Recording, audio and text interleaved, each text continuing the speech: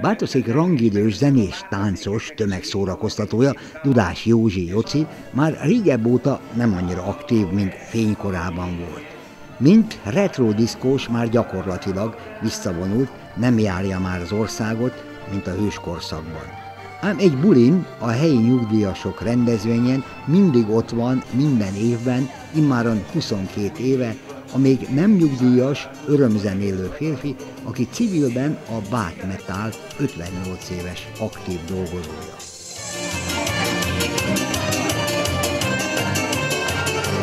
Most figyeljünk!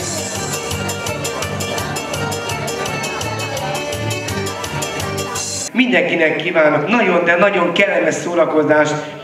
Egy keringővel nyitnám meg a vállamat. Jó szórakozást, bűn, hogy várok rá. Mindenki vigye pályát, kedvesítés, jó mulatást. Köszönöm.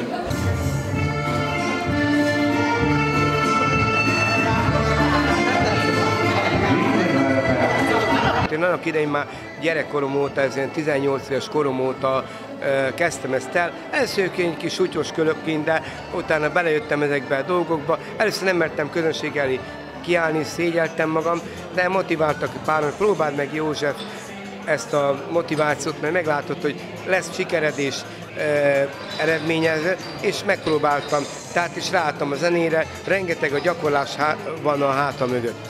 Mindig elmegyek a kis szobikámba, én nem megyek kocsmákat, nem járom, sem ö, ilyen szórakozót. Én magamnak vagyok, a maga a zenémeimnek, nosztalgia számok, ami nagyon sokat még rádióban se lehet meghallani, én azokat gyűjtöm le, és azokat gyakorlom be. Nem csak Karádi Vámosi, Korda örökzöldek, hanem a 60-as, 70-es, 80-as évek nagy diszkóslágereit is magáévá tette Dudás Joci.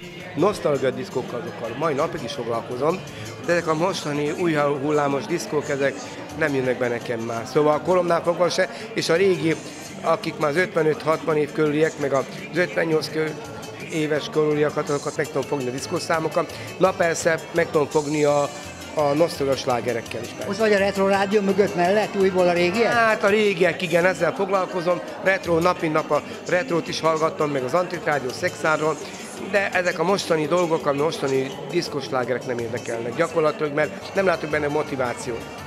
Már csak egy fellépése van minden évben, ez pedig a helyi Napsugár Egyesület minden évben megrendezésre került őszi bája, ami a világnaphoz köthető.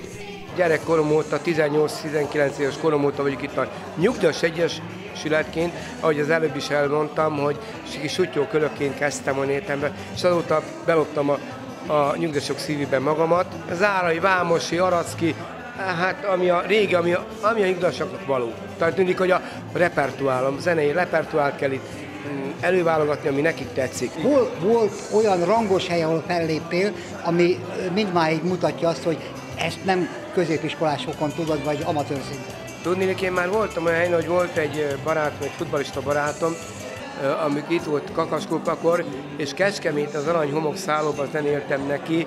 Iszonyú sok volt a vendég, és nagyon jó volt a, szó, a hangulat, ott zenéltem Kecskeméten, meg hát ha elhívnak máshova, Monoron van egy, Monoron is egy öreg otthon, ahol szoktam idestől, amikor elhívnak oda is zenéni, na meg persze itt a környékbeli öreg otthonok persze.